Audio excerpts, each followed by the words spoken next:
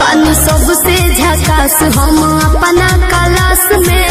लड़का करेला समार बैठे खाती पास में तो सभे करेला बड़ाई हम केने केने जाई केहू कहे अमर पाली केहू लूलिया